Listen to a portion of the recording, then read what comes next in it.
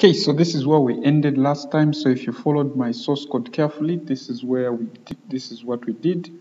We added um, this in the game script as well as added uh, that.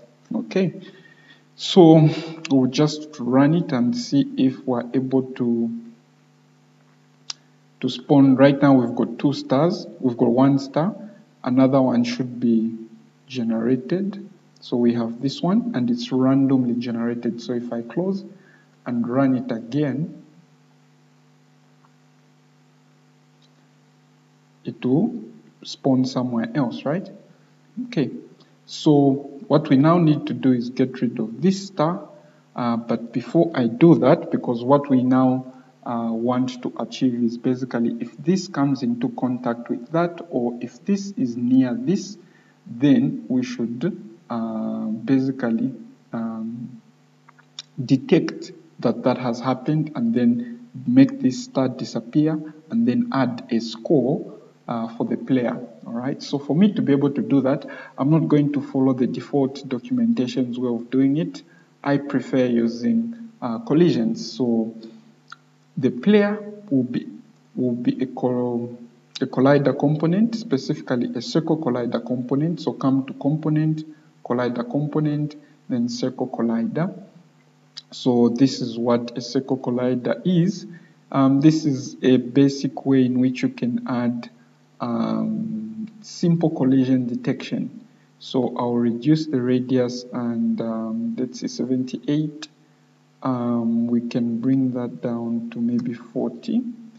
All right, or maybe even 35. 35. So this area here, the circle around the, the star, I mean around the, the player, is going to be colliding with something else. So in this case, let's go to the star and we'll also add a circle collider. Okay, so the circle collider there, 66, let's put it at 20.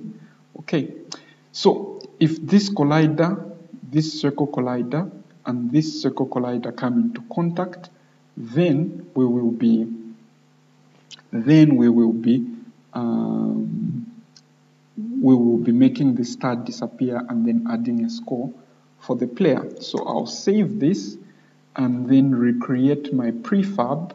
So I'll delete this prefab that we created earlier. Okay. And then I'll just create a new one and then update the canvas so that we have the, the prefab that has that component. So here we go. There we go. We'll come back to the start duration um, later on. Okay so next up um, we need to come to our project project settings. And then here we need to define um, two two collision bodies basically. The star or the player that's it the star or the player.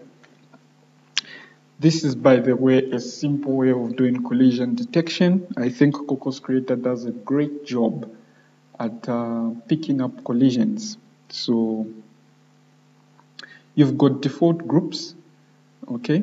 Um, but what we'll do is group 0 will be the player and then I'll add an additional group and then group 2 will be the star right? Then I'll save this and then close.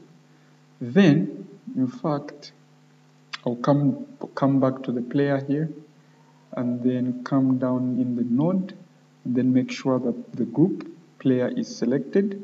Then I'll come to the star and then make sure star is selected it needs to be in the correct uh, group. I'll save this. I I will also delete this one more time. My bad I forgot to, to do this earlier on. Then create this prefab one more time. Then let me update this section so that the star prefab um, should also be in the correct the correct group of star all right Once that is created, then we can write some collision detection code to see if this and that come into contact. Right now, it's still not doing anything, only, only that, um, yeah, there's nothing that's happening.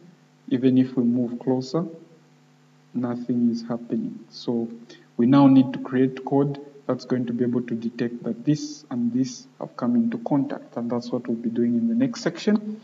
Please subscribe, like the video, comment in there um, uh, if you want to uh, support me further. I've got coupon codes for my Cocos Creator Development Essentials course on Udemy um, in the description below. Um, there I explain um, more complex physics uh, using Box 2D if you want to create physics-based 2D games as well as um, create two projects in the process of trying to explain that.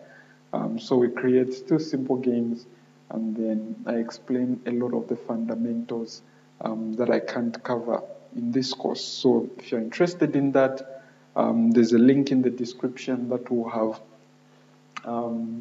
um, a coupon code. Um, I will have 50 that will be free, completely free.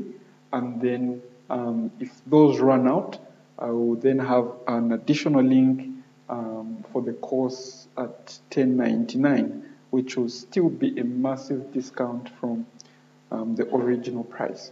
So, yeah, thanks. We'll continue in the next one.